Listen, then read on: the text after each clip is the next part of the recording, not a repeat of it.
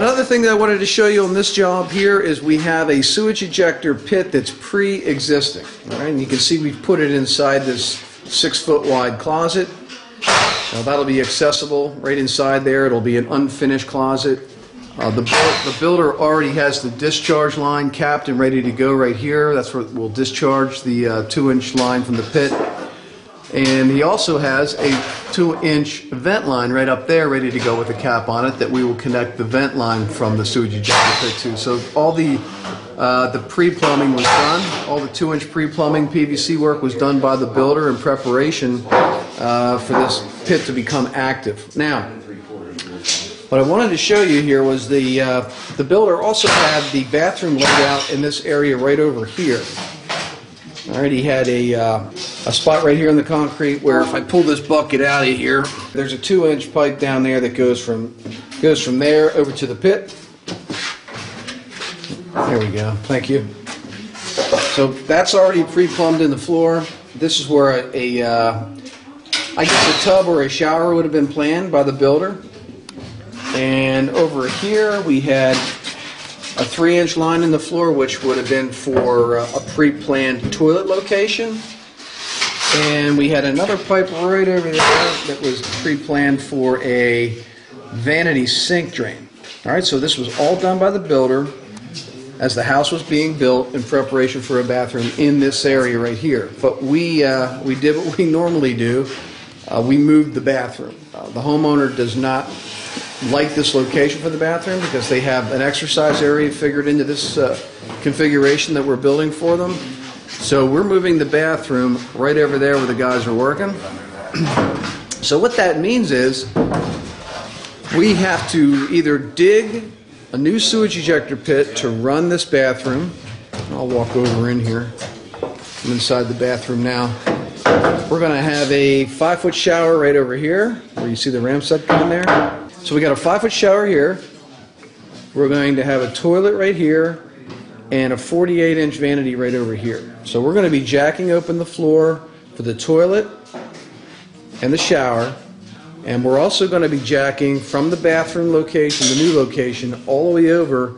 And we're going to pick up the original toilet line under the concrete floor from the original builder's bathroom configuration. All right? It's right over here.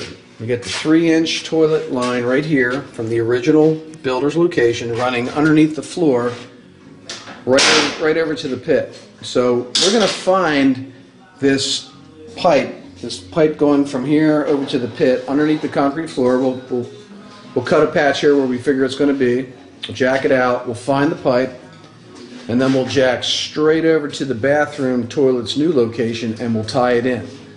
By doing that, we don't have to dig a new sewage ejector pit. All right, so we're going to utilize the uh, the location that the builder gave us, which will save us a lot of time and a lot of labor and materials. You know, uh, we, otherwise we would have had to put in a new sewage ejector pit. So we're saving a, a lot of labor there. That's the main thing because these are very labor intensive. It's a lot easier to just jack four inches of concrete, dig a dig a ditch down about 16 inches than it is to dig one of these babies down into the floor three feet deep. All right, so much, much less labor involved there. So again, uh, my, I think my last two videos I've talked about the fact that we moved the bathrooms on almost every job, that we probably 90% of the time or better, we never use the existing plumbing that's in the concrete floor from the builder. All right, and when we get this jacked open um, and we've got the new uh, path from the new toilet location back over here all tied in. Before we concrete that floor shut, I'll show you exactly, exactly what that involved um, so you have a better visualization of what we're actually going to do here.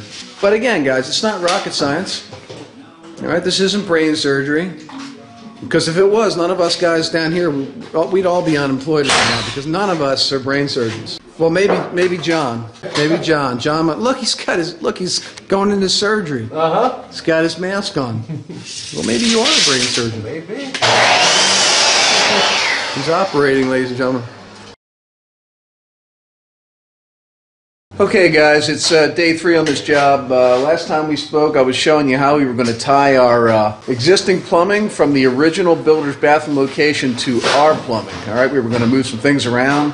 Uh, so I'm going to spin the camera around here and I'll show you how we're jacking the floor open here and how we're going to connect the, uh, the new three inch pipe from our sewage ejector pit to the existing plumbing that the builder had under the floor. Remember, we're keeping the sewage ejector, the original sewage ejector, so we don't have to jack the floor open because we're close enough to the original bathroom location that we can do that. And I'm going to show you, if you have a similar situation, how you can go ahead and utilize the existing sewage ejector pit, keep it in the floor, which saves you a ton of time and labor and money, um, and how you can tie your existing new plumbing or how you can tie your, your brand new bathroom plumbing into that existing underfloor plumbing. All right, so let's take a look at that right now. Okay, so back over here looking at the original pit, you can see uh, we've got the lid off now. There's a big old four inch pipe coming through there, put in from, from the builder, passes underneath the floor here. And here you can see where we jacked the floor over. The bathroom's way over yonder, and we had to jack across the floor. It's about uh, 13, 14 feet until we found that four inch pipe. Right, now that four inch pipe went across and tied into the, uh, to the toilet over here. It's kind of all covered up here. Okay, that was the original toilet location right there. So that goes down into the floor there, passes underneath the concrete, and shows up right over here. And that travels straight over and into the pit. So we're keeping the pit, and we're keeping that section of four inch pipe right to this point here. Now we're going to cut it right there, and we're going to use some fittings to turn the plumbing into our trench. And then we're going to shoot it up here to the bathroom toilet which is going to be right there. We're going to put our flange right down there. There it is right there. We're getting ready to uh, put this together here this morning.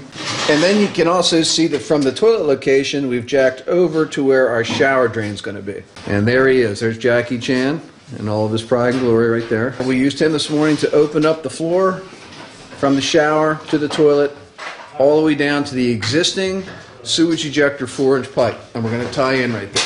So that way we don't have to jack another big hole in the floor and put another one of these guys in. So if you have existing plumbing, all right, and this was all going to be plumbed here, the shower was going to be here, and the toilet was going to be over there in the floor, and it was a, it was a whole different setup, a whole different bathroom plan. It, but it, it didn't work with what we were what we wanted to do with this basement design. So we've moved the bathroom to where we'd like her. We've utilized some of the original under the floor plumbing and that sewage ejector pit. I just wanted to show you that because that's one of the questions that I get a lot. I mean, can we can we reuse the sewage ejector that's already there, even though we're moving the bathroom to a different location? Can we can we still use the pit? Now, if it was on the other side of the basement, 30 feet away, the answer would be no. You, you'd never get that much pitch, that much slope back to the sewage ejector pit if your if your shower or your toilet were 30 feet away on the other side of the basement. So the answer would be no in that situation. But here, we were only going about 12 feet, and we can still get enough pitch on that toilet line to that sewage ejector pit. All right, enough enough fall, enough slope. If you can get it within, say, maximum of 15, 16 feet.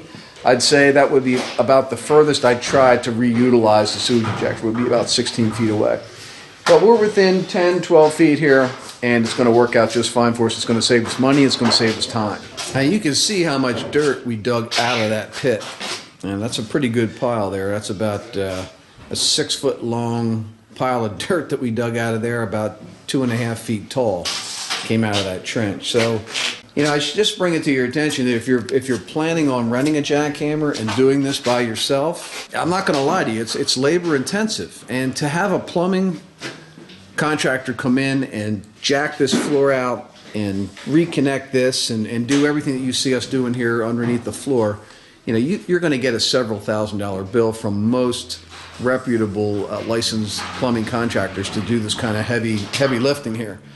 But if you have it within yourself to do it, and if you could, you know, bring a couple of your buddies over for the weekend, or if you've got family or friends to help you with it, you are going to save yourself a a lot of labor money there. And uh, you know, if, if you can do it, well, hey, why not? It's it, again, it's not rocket science. You're just you're just jacking a hole from in a trench from point A to point B, and digging it out and installing the pipe. But again, that labor price, if you hire a plumber, will be several thousand dollars. All right, so I thought I'd throw that little tidbit at you there. Um, you know, I try to give you as much on the plumbing front as I can when I got these floors jacked open.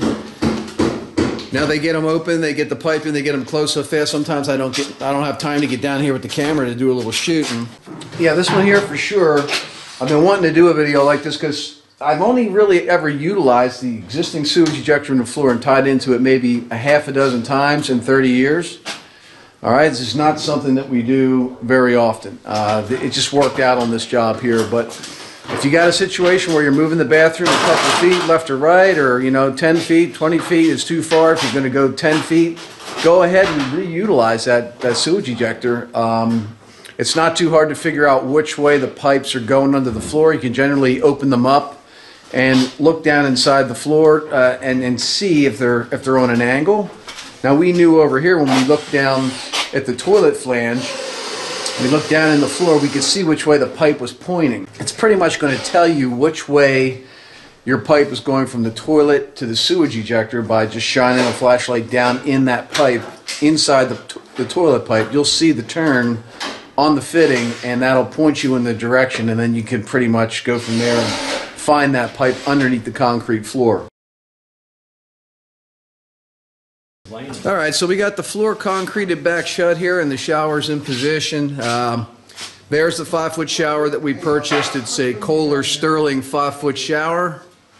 Um, it comes in four pieces. You've seen them in other videos. It's got the five foot back panel and then the two 34 inch side panels and the five foot by 34 inch uh, shower pan base itself. A real nice unit, perfect for basements where you can't get a one piece five foot shower in the basement, which 95% of the time you're not going to be able to. And there you can see our trench. We have our toilet flange in now. They just put the concrete in. The concrete's wet here. They filled it in, and uh, our flooring will go right over top of our patchwork then. You can see John down there finishing it out there. Um, so that's how we did it, guys. That's how we utilized the existing sewage ejector pit. We kept it and how we um, jacked over, found the original under the floor uh, pipe that was going from the original toilet location over to the pit and tied into it. Saved ourselves a great deal of labor by not having to dig another sewage ejector pit. And here you can see our drain lines are all roughed in. Give you another shot and explanation of what we did here. this is our sink drain, which is inch and a half all right, then we got our hot and cold water here roughed in in PEX, so we're using the PEX water system. And that drain line goes in from here, from the sink, travels down. Right here you can see where we came up in a two inch Y fitting into our vent line, which goes around back through the walls. And you can see it running along the wall over there and up and ties into the vent location that the builder had put in for us. All right, so we tied our vent line in for our sink. This also vents our toilet. It goes underneath the floor to our shower drain back over there in two inch. And then you can see coming from behind the shower there, our, our vent line that we tied into the back. So our shower is vented as well. Right? And the shower and the sink vent line right here tie together and then go down and tie into the main vent line which exits the roof of the house. That was put in by the builder. Cold water line going down to our toilet that's our toilet supply line. And back in here, I don't know how well you can see that, but down in there is our valve. And we've got our hot and cold water coming down behind the shower, feeding our valve, which is sticking through the front of the shower here. Okay? So that's all been roughed in and ready to go. These water lines are pressurized. There's water in these PEX lines right now. They, they're full of water at full pressure and we've got our temporary caps and nipples on the ends of our PEX drop ears. And I go through all this plumbing, exactly what we use, why we use it. It's pretty much the same on every bathroom we do. Uh, the only difference is the location of the fixtures, but we do it the same on every job. And if you guys want to learn how to do that, I do have plumbing videos over at the Basement Finishing University, uh, the BFU 2.0. I do have a link in the description below this video if you want to go check that out. You can learn how to plumb your own bathroom as well as a bar. We've got a nice big bar over here with a 10-foot top. This is our front bar wall here. And uh, we've got this roughed in for a sink. Right over here will be a 36-inch sink base at the end of the bar. I'm actually behind the bar right now. And you can see all of our GFI circuits that'll be in the uprise to our upper top. Down here, we've got our hot and cold water and our inch and a half discharge line. We are going to have a bar sink here. We're going to have one of our laundry tray pumps underneath here. I show you how to do that in my bar building series. Series. The bar building series is also over at the Basement Finishing University if you want to check that out. I show you step by step how to build a bar very similar to the one that we're going to be putting in on this project. We also show you in that series how to hook up that pump that will be actually inside our 36 inch sink base and plugged into that outlet right there. All right, we're using a bar pump because we're so far away from the main sewage ejector, which is about 40 feet over in that corner. The one we're using for the bathroom was too far away, uh, so we could not use that. So we're going to have to use a pump. We'll be pumping it up into that inch and a half line right there, and that is going to go over and tie into one of the main three inch sewage laterals in the basement. All right, so we've got a bar in this one as well. So we have bar plumbing and bathroom plumbing on this one. The bar plumbing is going to be a pump. The bathroom plumbing is also going to a pump, but it's going to our sewage ejector, which uh, we showed you at the very beginning of this little video here. We never had to dig this up. We never had to dig a new pit. We just jacked our way over here and tied in. All right, so I hope that helps you guys. If you have a, a bathroom project in your basement or a bar, there's two different ways to get your plumbing drain lines, uh, take care of the, the wastewater. But uh, I've never talked about jacking the floor open and, and using a pre-existing sewage ejector, so that now uh, is another option for you guys. If the builder's already put it in and it's just not in the right spot, but it's close enough to where you're relocating the bathroom, hey man, use that existing sewage ejector pit and save yourself a bunch of money. Um, my, my main purpose of this video was just that one technique reusing pre-existing sewage ejectors. If you like this and it helped you out, if you wouldn't mind hitting that like button, it helps out our channel. And if you haven't subscribed to the Basement Finishing Man YouTube channel yet, please do. We got a lot more good basement videos coming your way.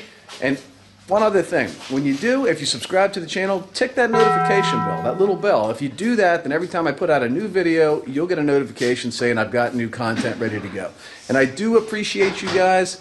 Guys, we're about uh, 80,000 subscribers right now, which I never thought that would ever happen. Uh, it's really amazing to me. I, I know there's plenty bigger channels on YouTube with millions of subscribers, but 80,000 subscribers to me is huge. I feel blessed, and uh, it's because of you guys that I keep making these videos. And uh, I just wanted you guys to know that I do appreciate all the views, the comments, and uh, and everything else that you guys have done to help me build up my channel from no subscribers to over 80,000 subscribers. And I think we're like up, up around 20 million views. So I wanted to thank you guys for that. And I will see you in the next video.